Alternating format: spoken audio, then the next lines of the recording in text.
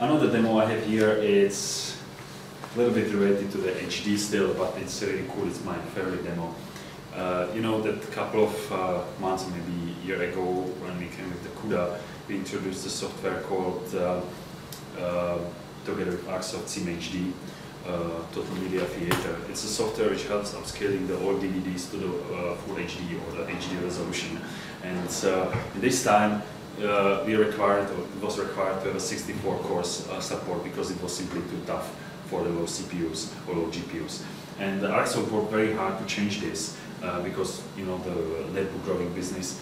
And uh, now we have a new version, which by the way HP will bundle or install on each system which they will sell. This version costs $100 and this is included in the price of the netbook, which I guess is quite cool. Otherwise you spend like at least 30% of the price of the netbook just for the software. So I will show you how does it work. Uh, we have a we have a swordfish movie here, it's my favorite.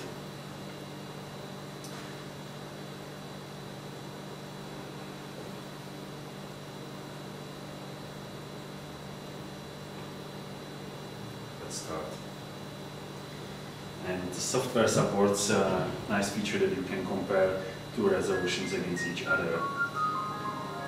There is a power resolution, the DVD 720 by 480, and there is a 440 by 960. It's not 1080p because simply for Ion even 1080p it's, uh, it's too much, but it's something between 720p to 1080i. But generally it's very good resolution for transcoding and it's absolutely enough for the screen of the netbook because netbook supports 720p and this is exactly what you need for this upscaling. So when I run now, run now program, let me move some part of the movie.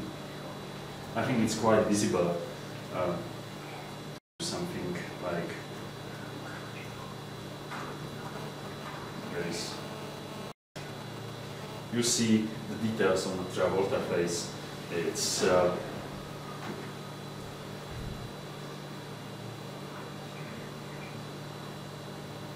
very visible.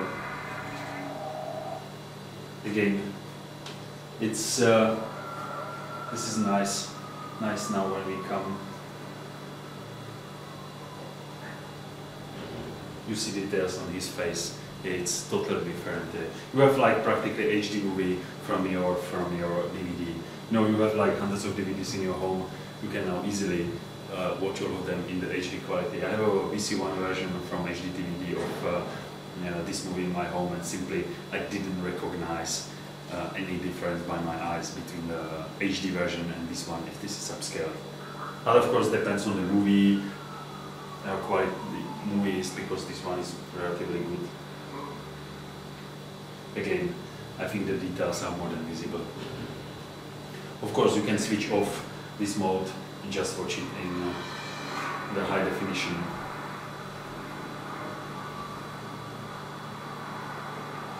Can you imagine you are just coming to your home in the evening and use this notebook as a upscaling device?